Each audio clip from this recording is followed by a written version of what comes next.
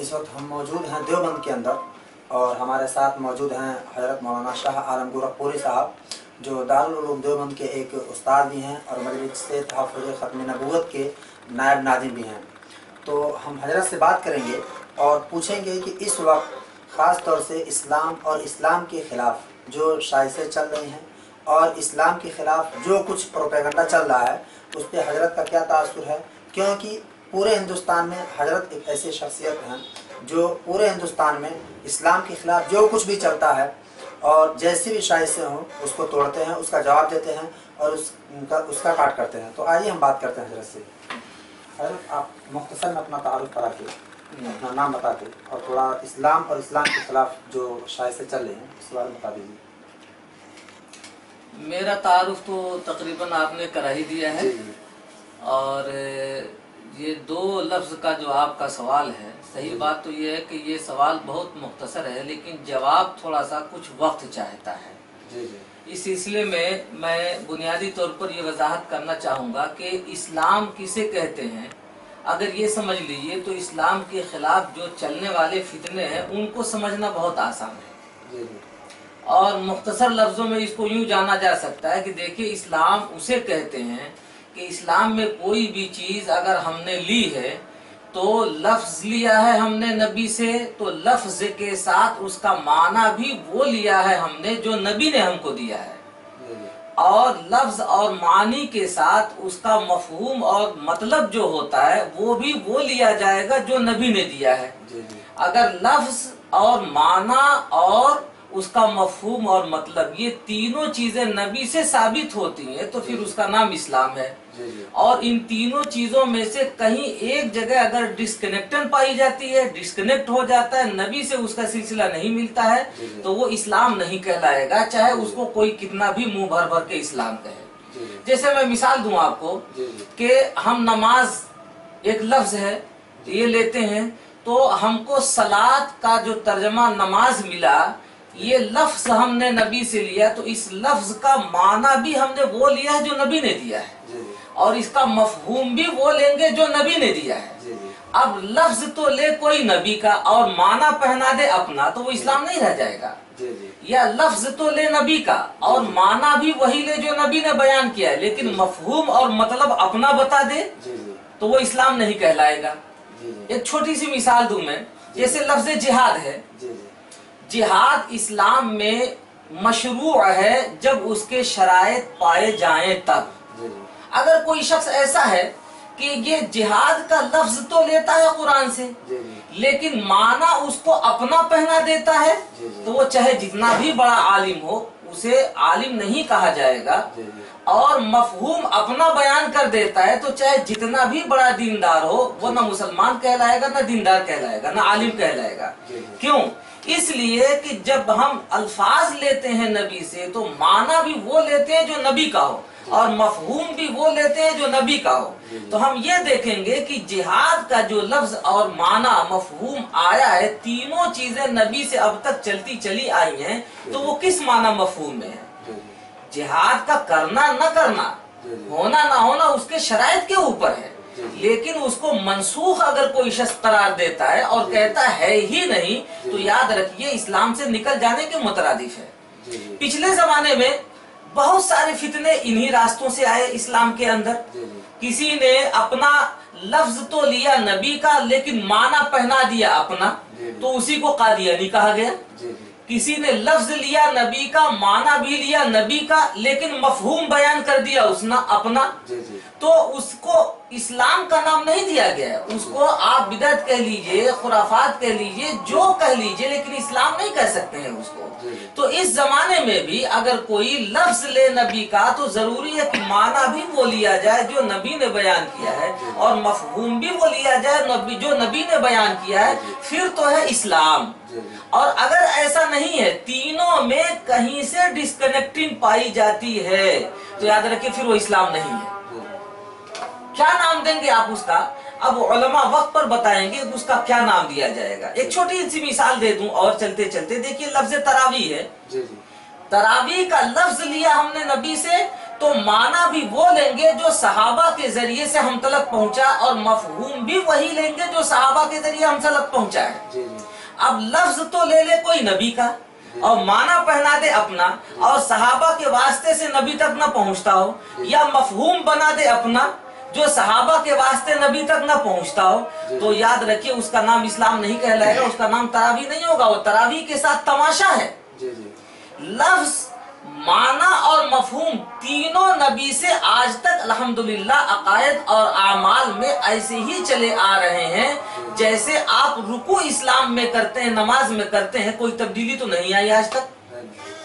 سورہ فاتحہ پڑھتے ہیں کوئی تبدیلی تو نہیں آئی آج تک؟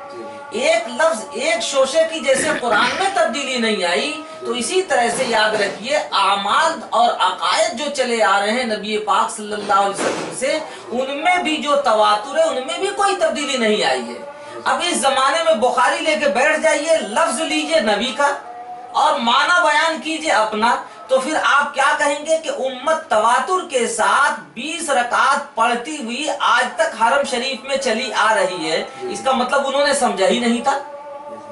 تو یہ تو اسلام کے ساتھ تماشا ہو گیا۔ اس لیے کوئی بھی ہو یاد رکھیے، چاہے جتنا بھی دیندار ہو، چاہے وہ جتنا بھی دین کا لیبل لگا لے، جتنا بھی عالم کہلاتا ہو، تینوں چیزوں میں سے کسی ایک چیز میں اگر نبی سے ڈسکنیکٹنگ پائی جائے گی تو وہ اسلام نہیں رہے گا، وہی فتنہ کہلاتا ہے۔ جی جی اس سے تو صاف پتہ چلا کہ یعنی کوئی بھی تنظیم ہو یا کوئی خاص آدمی ہو یا پوری ایک تنظیم بنا کے چلتا ہو اگر اسلام کے خلاف کوئی بھی چیز پائی گئی جو نبی اور قرآن کے خلاف ہے یعنی معنی تو الگ لے رہا ہے لیکن مفہوم اس کا ہے تو اسلام کے خلاف ہے وہ۔ تو وہ تنظیم ہو بڑی تحریک ہو کوئی شخصیت ہو پچھلے زمانے میں جو فتنے آتے ہیں وہ اسی طرح سے تو آتے رہے ہیں۔ شروع میں بہت معمولی سا انحراف ان کا رہا ہے اسلام سے لیکن بعد میں آج کل کے زمانے میں بڑے بڑے فتنے دکھائی دیتے ہیں۔ جیسے شیعیت کا ہے قادیانیت کا ہے یہ شکیلیت کا اس زمانے میں لے لیجیے۔ شکیلی دیکھیے ہمیشہ لفظ لیں گے نبی کا۔ معنی پہنائیں گے وہ جو جس کا وہ جی چاہے گا۔ جی جی۔ یعنی الفاظ نبی کا لے کے پیمانہ اس پر اترنے کا اپنا بنا لیتے ہیں اسی لیے ان کو اسلام میں نہیں مانا جاتا ہے۔ تو چاہے تنظیم ہو چاہے جماعت ہو چاہے کوئی بڑی سے بڑی شخصیت ہو تینوں چیزوں میں نبی سے ڈسکنیکٹنگ پائی جاتی ہے، تو یاد رکھیے، اسی کا نام فتنہ ہے۔ اور اسلام اس چیز کا نام ہے کہ تینوں چیزوں میں نبی سے رابطہ پایا جاتا ہو۔ اچھا حضرت ابھی گورکھپور کی طرف ایک فتنہ اٹھا تھا۔ اس کی حقیقت کیا ہے؟ شکیل بن حنیف کا فتنہ۔ جو ادھر زیادہ لوگ اس سے ادھر متوجہ ہو گئے تھے اور کافی با اثر ہوا تھا لوگوں کے اوپر، تو کیا ہوا اس کا؟ یہ فتنہ اٹھا نہیں تھا ابھی بھی یہ فتنہ ہے۔ اچھا اچھا۔ گورکھپور مہراج گنج اور آپ کا دیوریا ہے کشی نگر ہے یہ سارے اضلاع اسی طرح سے آپ کے قریب میں بلیا ہے، گھوسی ہے، مئو ہے، یہ سارے ہی اضلاع شکیلیت کے فتنے سے متاثر ہیں۔ آج بھی یہ فتنہ ہے۔ لیکن افسوس کی بات ہے کہ ہمارے اہل علم، علماء، ذمہ داران مدارس اس فتنے کی خطرناکی کو نہیں سمجھ رہے ہیں۔ یہ ارتدادی فتنہ ہے۔ یہ چلتا ہے تو جماعت کی شکل میں، تبلیغ کا شکل اپنایا ہوا ہوتا ہے۔ لیکن کام ان کا وہ ہوتا ہے کہ الفاظ لیں گے نبی کا اور معنی پہنا دیں گے اپنا۔ الفاظ لیں گے، نبی کا اس کا مفہوم بتا دیں گے، اپنا اسی کا نام شکیلیت کا فتنہ ہے۔ اچھا ایک اور مسئلہ ہے۔ آپ کہیں بھی جاتے ہیں اور جا کر کے جیسے کشی نگر ہے، ایک مثال دیتا ہوں۔ آپ جا کے وہاں پہ قادیانیت کے بارے میں بتائیے تو لوگ کہیں گے، یہاں پہ قادیانی تو آئے نہیں تھے۔ لیکن آپ آ کے لوگوں کو بتا دیے اور پتہ چلا کہ آپ لوگوں کو قادیانی کی دعوت دے رہے ہیں یا پھر آپ لوگوں میں جو جو جانتا نہیں تھا، آپ اس کو بھی بتا دیے اب لوگ ڈھونڈنے کے چکر میں پڑیں گے آپ ڈھونڈیں گے کہ آخر قادیانی ہے کیا؟ اور زمانہ بھی فتنے کا ہے۔ اس طرح کی جو باتیں ہیں یہ بڑی سطحی اور کمزور درجے کی ہیں۔ جی جی۔ دیکھیے آج کوئی بھی بڑی بھینکر بیماری آتی ہے تو سرکار بڑے بڑے بورڈ لگاتی ہے چوراہوں کے اوپر۔ جی۔ تو پھر تو آپ یہ کہیں گے کہ گویا سرکار نے بیماری پھیلانے کا کام کیا ہے بیماری سے بچانے کا کام نہیں کیا ہے۔ اچھا پھر تو آپ یہ کہیں گے۔ آپ کے ساتھ کبھی ایسا ہوا ہے کہ آپ کہیں بیان کیے ہوں یا فتنوں کے بارے میں بتائے ہوں لوگ کہیں ہوں کہ ابھی تو ہم جانتے ہیں آپ آ کے اس فتنوں کو آپ یہاں پہ لگا دیے۔ ہمارے ساتھ بھی بہت ہوتا ہے خاص طور پر یہ ڈاکٹر طبقہ ہے ماسٹروں کا طبقہ ہے جی۔ اور اس وکیلوں کا طبقہ ہے جی۔ یہ ہمارے وہ افراد ہیں جو پڑھے لکھے ہیں جی، جی۔ لیکن اسلام کے مزاج سے اور اسلام کے صحیح بیک گراؤنڈ سے جب یہ واقف نہیں ہوتے جی۔ تو وہ اس طرح کے سوالات کرتے ہیں. لیکن جب انہیں سمجھایا جاتا ہے تو بات ان کے سمجھ میں آتی ہے. جیسے میں نے ابھی بتایا جی۔ کہ اگر فتنوں کے بارے میں ہم پہلے سے ان کو بتا کے نہیں رکھیں گے جی۔ جب وہ شکار ہو جائیں گے تو پھر آپ کیا بتائیں گے؟ جی جی. اچھا ایک سوال اور ہے کہ ان فتنوں کا شکار کون لوگ ہوتے ہیں؟ کیسے لوگ ہوتے ہیں؟ یعنی دو عام طور سے بہت مشہور ہے کہ آدمی پاس تعلیم ہوتی ہے اسلامی تعلیم دینی تعلیم یا جیسے بھی ہو کون لوگ اس کے شکار ہوتے ہیں؟ دیکھیے ان فتنوں کا شکار صحیح بات تو یہ ہے کہ اللہ تعالی کے ہاتھ میں ہے ایمان پر باقی رکھنا اور اسلام پر باقی رکھنا اس ہدایت دینا۔ جی، جی۔ کون ہو- سکتا ہے کون نہیں ہو سکتا ہے بہت سی دفعہ پڑھے لکھے لوگ بھی دکھائی دیتے ہیں جی، جی۔ لیکن حقیقت جو اس میں تہ میں جایا جائے تو یہ معلوم ہوتا ہے کہ وہ لوگ ان فتنوں کا شکار ہوتے ہیں جو اسلامی معلومات صحیح معنوں میں نہیں رکھتے جی،۔ پڑھے لکھے تو ہوتے ہیں دکھتے ہیں۔ لیکن گہرائی گہرائی کے ساتھ جیسا اصول کے مطابق جاننا چاہیے ویسا نہیں جانتے تو وہ لوگ فتنوں کا شکار ہو جاتے ہیں اچھا ٹھیک ہے۔ حضرت، ایک آخری سوال ہے میرا۔ اور وہ تھوڑا اس یعنی چناؤ ماحول ہے، اس حساب سے۔ یعنی ووٹ کی کیا حیثیت ہے؟